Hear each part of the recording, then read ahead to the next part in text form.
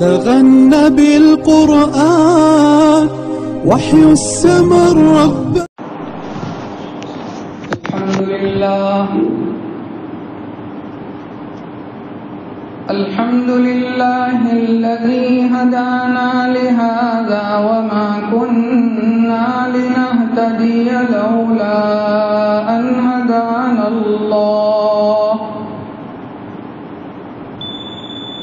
لقد جاءت رسل ربنا بالحق. صلوات الله وسلامه على سيدنا محمد وعلى آله وصحبه وبارك وسلم تسليما كثيرا.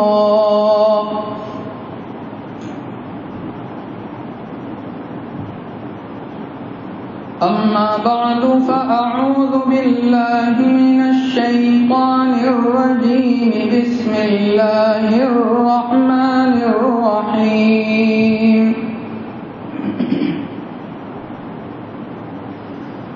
قد أفلح المؤمنون الذين هم في صلاتهم خاشعون والذين هم عن اللغو معرضون. والذين هم للزكاة فاعلون. وقال تعالى في مقام آخر فألهمها فجورها وتقواها. قد أفلح من زكاها. وقال النبي صلى الله عليه وسلم الكيس من دان نفسه وعمل لما بعد الموت والعاجز من أتبع نفسه هواها وتمنى على الله. صدق الله وصدق رسوله النبي الكريم. ونحن على ذلك لمن الشاهدين والشاكرين والحمد لله رب العالمين.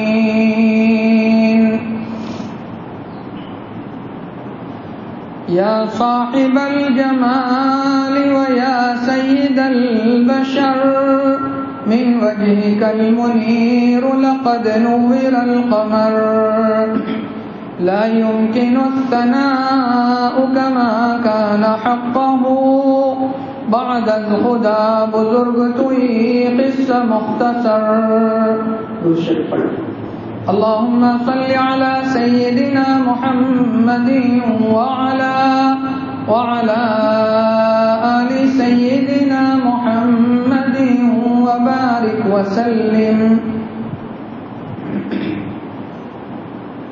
بزرگان محترم، عزیز دوستو،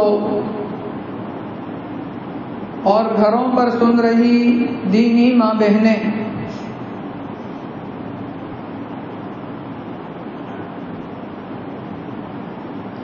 گزشتہ کئی جمعوں سے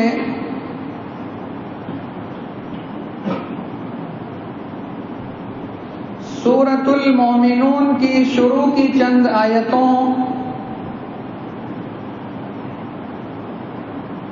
پر جن میں حق تعالی نے کامیاب مومنین کی صفات بیان فرمائی ہیں۔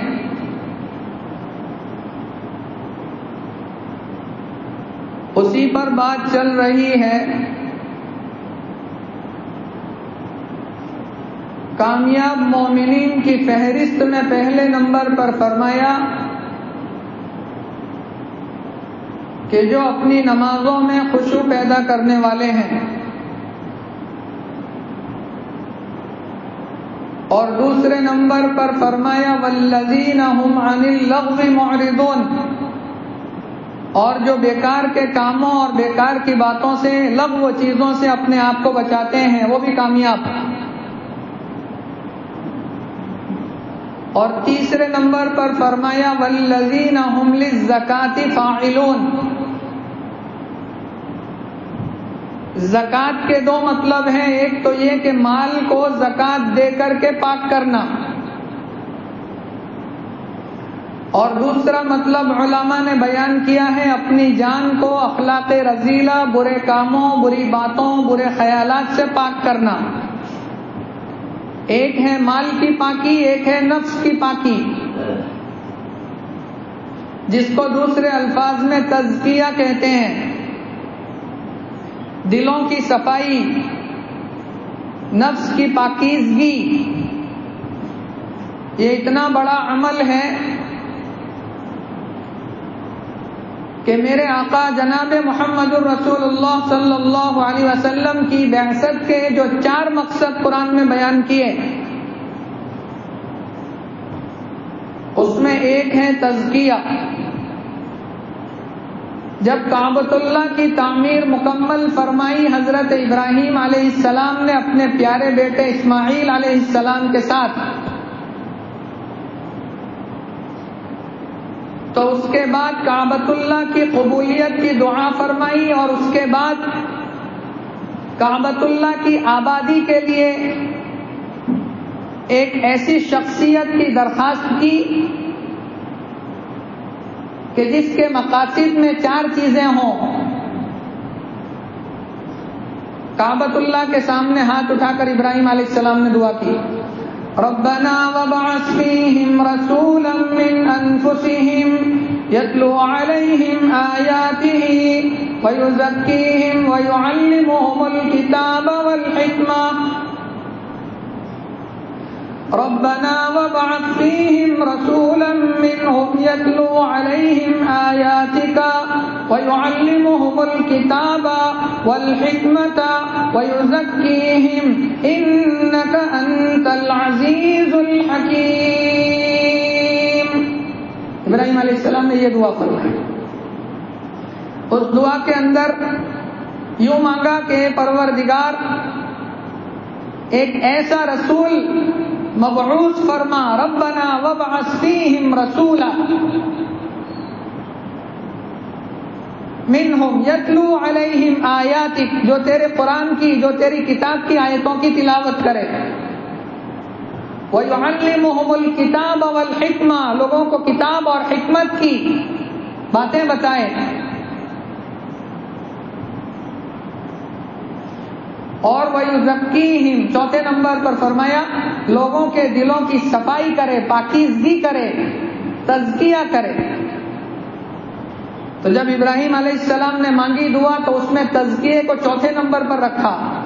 پہلے نمبر پر قرآن کی تلاوت کریں گے اور کتاب اور کتاب کی باتیں اور حکمت کی باتیں بتائیں گے۔ اور چوتھے نمبر پر فرمایا کہ لوگوں کا تزکیہ کریں گے۔ ایسا رسول بھیج۔ لیکن یہ دلوں کی صفائی اتنی اہم ہے کہ جب اللہ نے اپنے پیارے حبیب صلی اللہ علیہ وسلم کو دنیا میں بھیجا، تو بھیجنے کے ساتھ امت پر احسان جتایا۔ کروڑوں نعمتیں عطا فرمائی، کسی نعمت کا احسان نہیں جتایا۔ لیکن پیارے حبیب جناب رسول اللہ صلی اللہ علیہ وسلم کو دنیا میں نبی بنا کر، نبی الانبیاء بنا کر بھیجنا، اللہ فرماتے ہیں، یہ میرا بہت بڑا احسان ہے تمہارے اوپر۔ اس کی قدر کرنا۔ کیا فرمایا؟ لقد من الله على المؤمنين إذ بعث فيهم رسولا من أنفسهم يتلو عليهم آياته ويزكيهم تحقیق پوری دنیا پر عام طور سے اور مسلمانوں پر خاص طور سے میرا یہ احسان ہے کہ انہیں کے اندر سے ایک شخصیت کو میں نے نبی بنا کر کے بھیجا اور نبی کا مقصد کیا ہے بھیجنے کا؟ یتلو علیہم آیاتی۔ ابراہیم علیہ السلام نے دعا کی تھی اس میں پہلے نمبر پر، یتلو علیہم آیاتی۔ قرآن کی تلاوت پہلا نمبر مومن کا کام قرآن کی تلاوت کرے گا۔ سمجھ میں آتا ہو، ترجمہ کے نہیں آتا ہو؟ سمجھ کر پڑھے، بغیر سمجھے پڑھے۔ گزشتہ شاید بتایا تھا، امام احمد بن حمبر رحمت اللہ علیہ نے اللہ کی ذات کو خواب میں دیکھا تو پوچھا، اللہ میں آپ کا قرب حاصل کرنا چاہتا ہوں، آپ آپ سے قریب ہونا چاہتا ہوں، کیا کروں؟ اللہ نے خواب میں فرمایا، قرآن کی تلاوت کرو۔ امام احمد بن حنبل نے پوچھا کہ پروردگار سمجھ کر پڑھنے پر قرب ملے گا یا بغیر سمجھے؟ کہا بغیر سمجھے پڑھو گے تو بھی میرا قرب تمہیں ملے گا۔ آج امت نے قرآن کو بند کر کے ساتھ میں رکھ دیا ہے۔ رمضان آتی ہے تب کھولتے ہیں، رمضان جانے کے بعد بند کر کے رکھتے ہیں۔ بہت سے گھرانے ایسے ہیں کہ پورا سال قرآن کھلتا نہیں۔ پہلے زمانے میں بڑے بوڑھے، کچھ آتا نہیں تھا اتنا سب، لیکن فجر کی نماز پڑھتے تھے اور جا کر باہر کھٹلے کے اوپر یا ایک کرسی کے اوپر بیٹھ کر زور زور سے قرآن کی تلاوت کرتے تھے۔ یہ تو ہم نے اپنی آنکھوں سے دیکھا ہے۔ آج محلے میں سے فجر کے بعد گزرو تو ایسا لگتا ہے جیسے قبرستان سے گزر رہے ہیں۔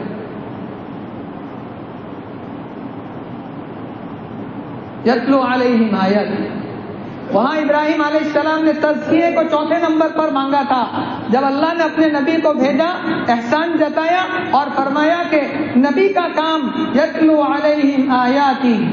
اور دوسرے نمبر پر فرمایا وہ دلوں کی صفائی اتنی اہم ہے کہ چوتھے نمبر پر نہیں، دوسرے نمبر پر۔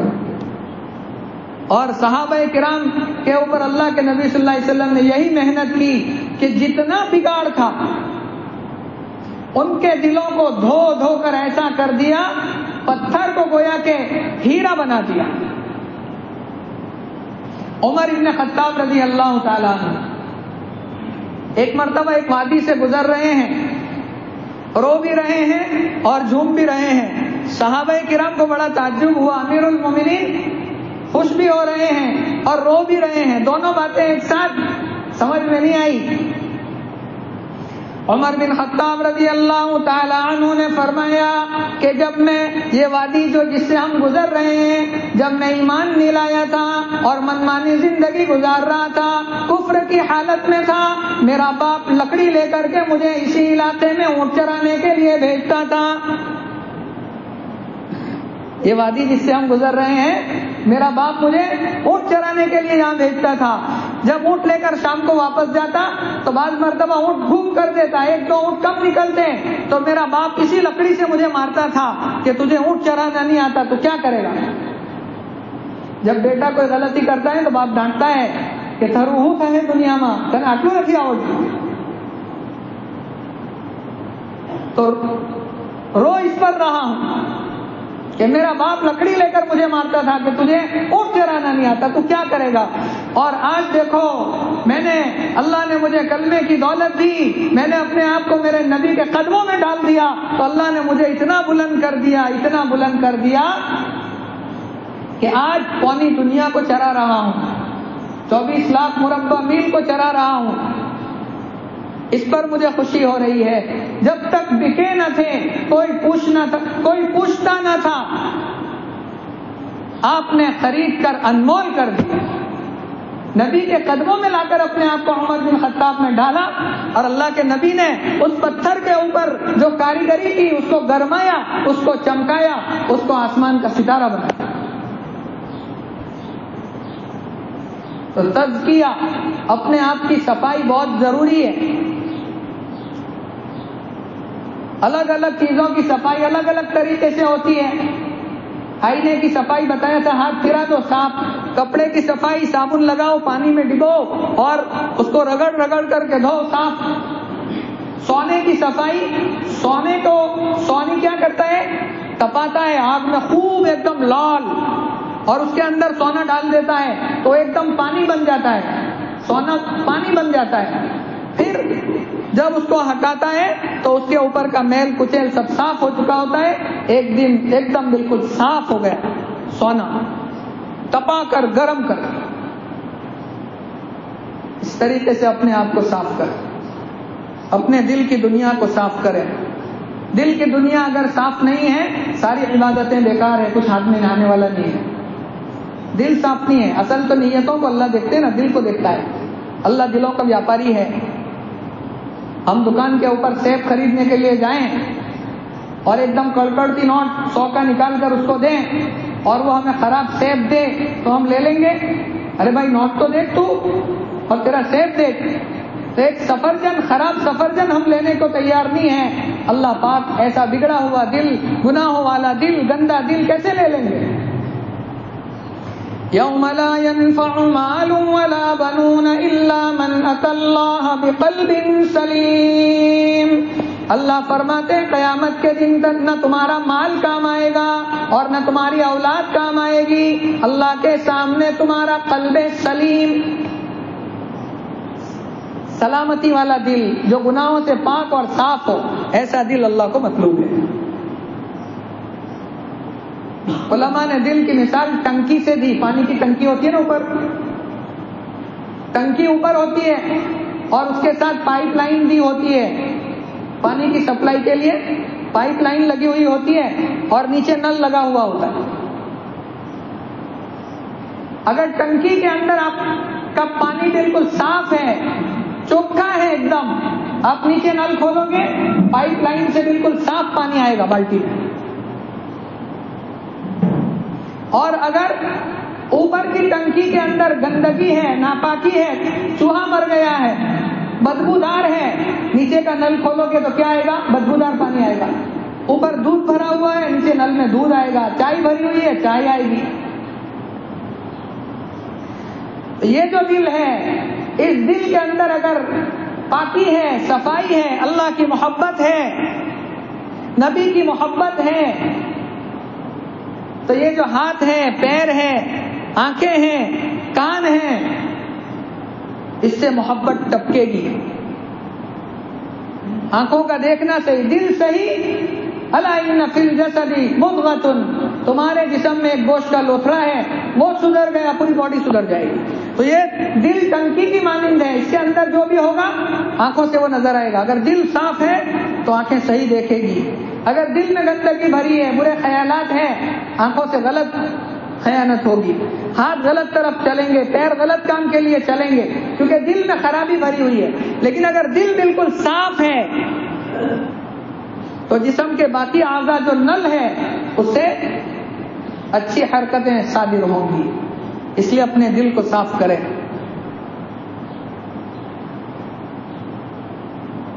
دل کے اندر جیسے جسم بیمار ہوتا ہے، ہم اس کو لے جاتے ہیں ڈاکٹر کے پاس۔ اسی طرح روح بھی بیمار ہوتی ہے اور جسم اصل نہیں اصل روح ہے۔ جسم تو ختم ہو جائے گا، مٹی سے بنا ہے، مٹی میں مل جائے گا۔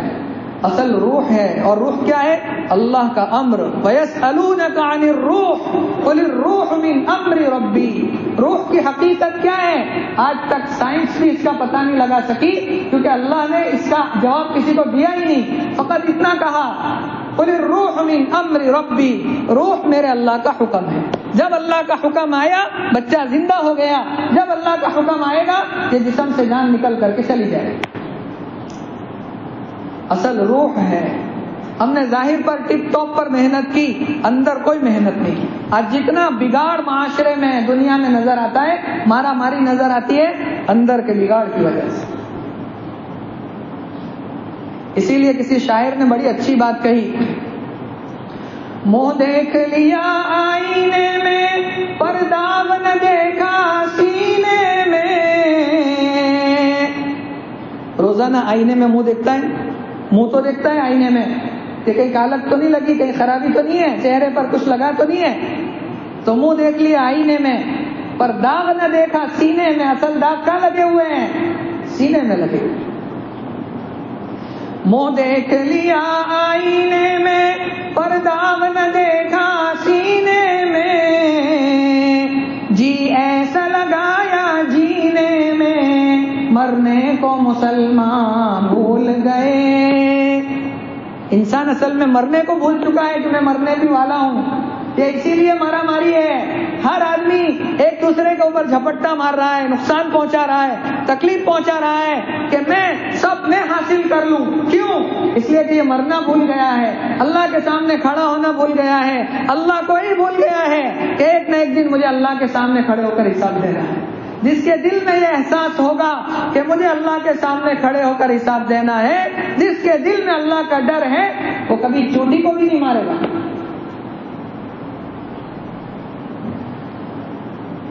اللہ کا ڈر ختم ہو گیا دل کا۔ اس لیے اس دل کو بنانے کی ضرورت ہے۔ انبیاء کرام علیہ السلاۃ والسلام کی سب سے بڑی محنت کا محور تھا دل۔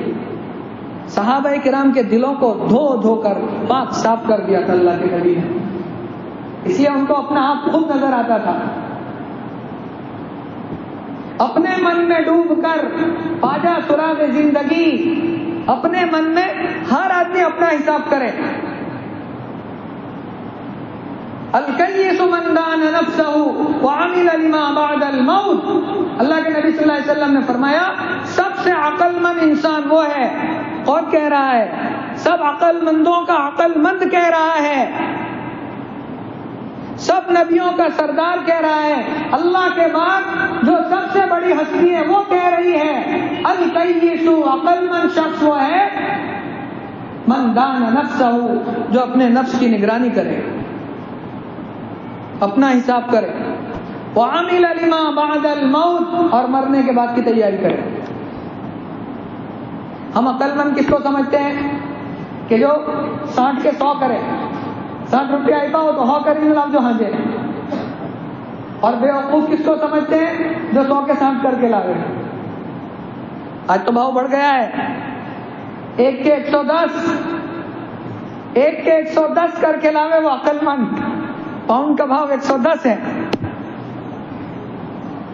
ایک کے ایک سو دس کر کے لاوے وہ عقل مند ہمارے نزدیک۔ چاہے وہ پانچوں نمازوں غائب کر دیتا ہو، جھوٹ بولتا ہو، دھوکہ دیتا ہو، اور دولت کا ڈھیر لگا دیا ہو، وہ ہمارے نزدیک عقل مند۔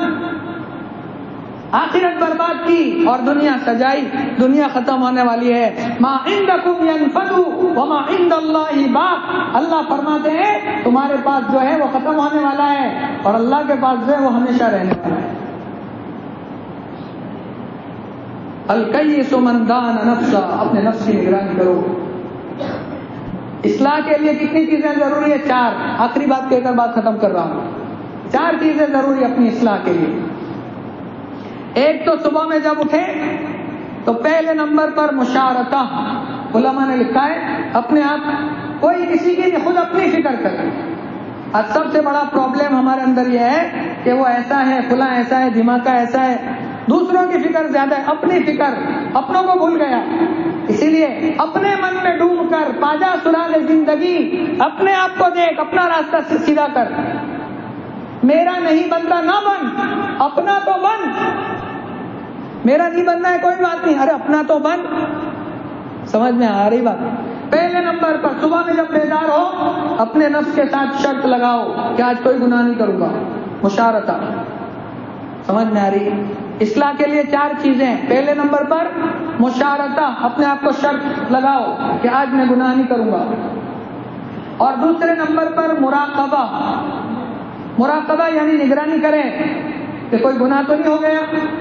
اپنے آپ کو چوکن نہ رکھے کہ مجھ سے کوئی گناہ نہ ہو جائے، کوئی گناہ نہ ہو جائے، مراقبہ۔ شام تک، رات تک۔ سمجھ میں آ رہی ہے؟ پہلے شرط مشارتہ دوسرے نمبر پر مراقبہ، نگرانی رکھے۔ اور تیسرے نمبر پر شام کے کنارے پر محاسبہ، حساب کرے۔ کتنے گناہ کیے، کتنی نیکیاں کی؟ سونے سے پہلے حساب کرے۔ حاسبو، قبل ان تحاسبو، اپنا حساب کر لو۔ اس سے پہلے کہ تمہارا حساب کیا جائے۔ جب آڈیٹ کا وقت آتا ہے نا آڈیٹ کراتے ہیں نا سنستھاؤں کا، مارچ میں فیبروری میں۔ تو کیا کرتے ہیں؟ وہ باہر کا آڈیٹر آ گئے اس سے پہلے ہم خود آڈیٹ کرتے ہیں کہ بھائی حساب برابر چیک کرو ہے کہ نہیں۔ اس کی، اس کے حساب میں گڑبڑ نہیں آنا چاہیے آڈیٹر کے۔ اس سے پہلے ہم حساب کرتے ہیں نا۔ فرماتے ہیں قبر میں جانے سے پہلے اپنا حساب کرو حاصل قبل تو حاصل تو تین چیزیں ہو گئی۔ اور چوتھے نمبر پر فرمایا کہ اگر کچھ گڑبڑ لگے، کہ آج میں نے گناہ زیادہ کیے ہیں، تو چوتھے نمبر پر فرمایا مواخذہ۔ پکڑ، اپنے نفس کی پکڑ کرو، اس کو سزا دو۔ اور سزا میں کیا دو؟ اس کے اوپر عبادت کا بوجھ بڑھا دو۔ پانچ ٹائم کی نماز تو فرض ہے، پڑھنا ہی ہے، لیکن کوئی گناہ ہوا ہے، دو رکعت نفل پڑھو، چار رکعت، دس رکعت پابندی کر دو تم نے گناہ کیا ہی کیوں؟ کل دس رکعت نفل تجھے پڑھنا پڑے گا۔ یا پیسوں کی، پیسوں کا لگا دو کہ سو روپے صدقہ کروں گا، ایک گناہ کیا سو روپے، ایک گناہ کیا سو روپے۔ پیسہ خرچ کرنا بہت مشکل ہے، تو اس طریقے سے اپنے آپ کو سزا دے گا، تو انشاءاللہ ایک نہ ایک دن اس کا گناہ کیا ہو جائے گا چھوٹ جائے گا۔ چھوٹا سا واقعہ۔ ایک صحابی رضی اللہ تعالی نماز پڑھ رہے ہیں، باغ ہے، بہت بڑا باغ۔ نماز پڑھ رہے ہیں۔ چالو نماز میں ایک پرندہ اندر سے نکلا۔